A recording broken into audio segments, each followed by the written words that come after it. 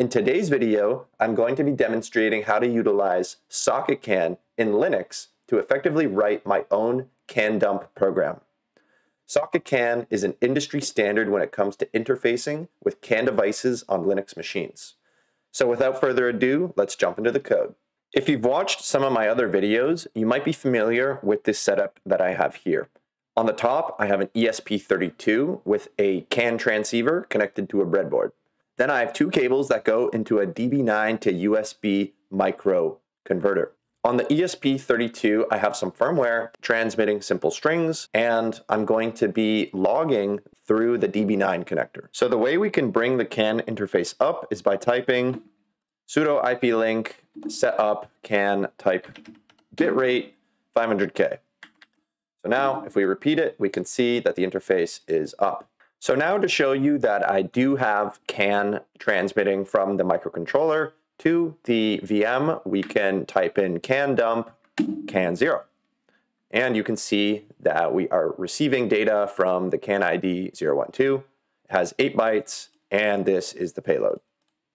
So now let's jump into some code. I'm going to create a file called custom CAN customcandump.c. To get started, I'm going to include some header files.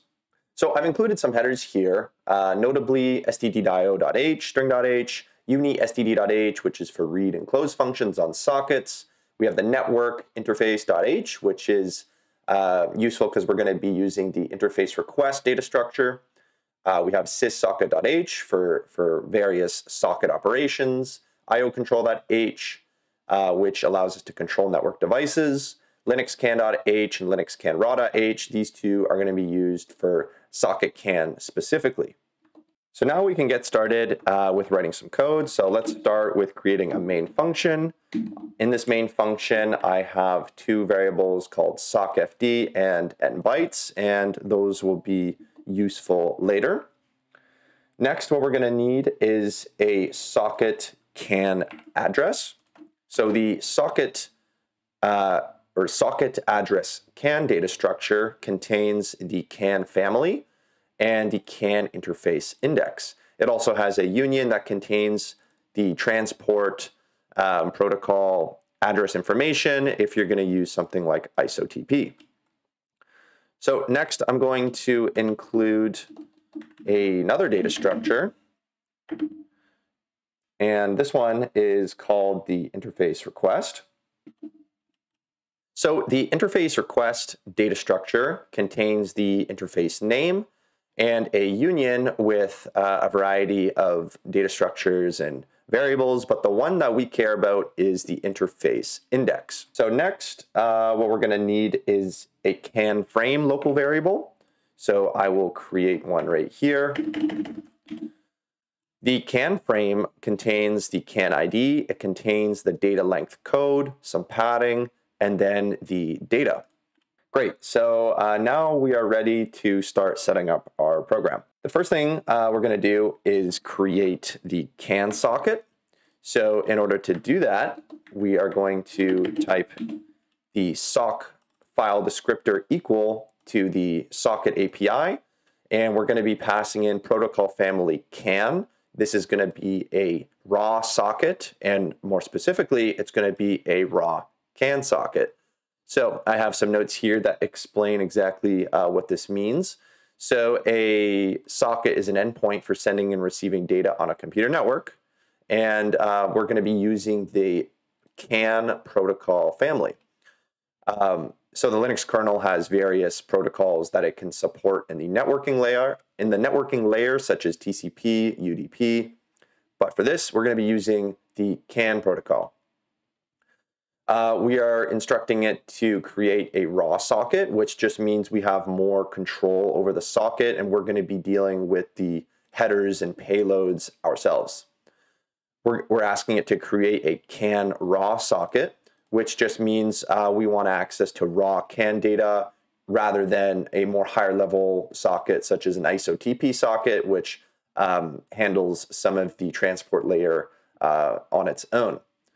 So we have the instantiation here. We're giving it this socket file descriptor and a quick check for whether or not there are any issues. So next what we're going to do is we're going to create the interface request. So the way we do that is with the following lines of code. So the uh, name of the CAN interface is CAN0, and we showed earlier that we set up CAN0 properly. The next, uh, and probably one of the most important lines of code, is IO control. So this is a system call, and we're giving it the socket file descriptor.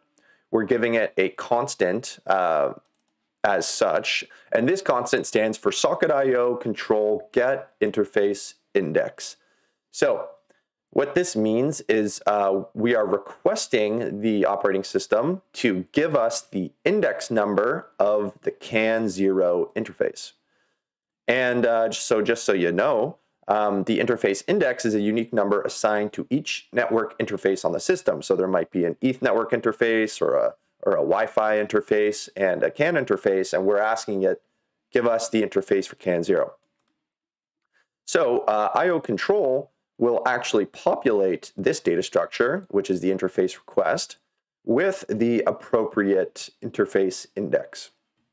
So now that we have the interface index all set up, what we're going to do is create the specific socket address.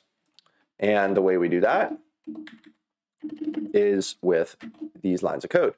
So the socket address um, can family is going to be uh, set to this constant. So address family can. Socket address uh, can interface index is going to be set to uh, the interface request index, which we obtained from IO control. And we're finally ready to bind the socket file descriptor to the um, interface uh, that we have requested and set up here. So once we bind it, the, um, the socket should be uh, usable at this point. Uh, but if it isn't, we're going to um, set an error message and return. So at this point in the code, we can now start using the socket. So what we're going to do is we're going to throw a while loop in here. And in this while loop, um, we're going to do some can logging. So while one, let's read some can frames and print them out to the console. So here's the number of bytes uh, variable we defined at the top. We're using this uh, read socket function, and we're giving it the, so the socket file descriptor, the address of the can frame uh, variable that we defined above, and the size of the can frame.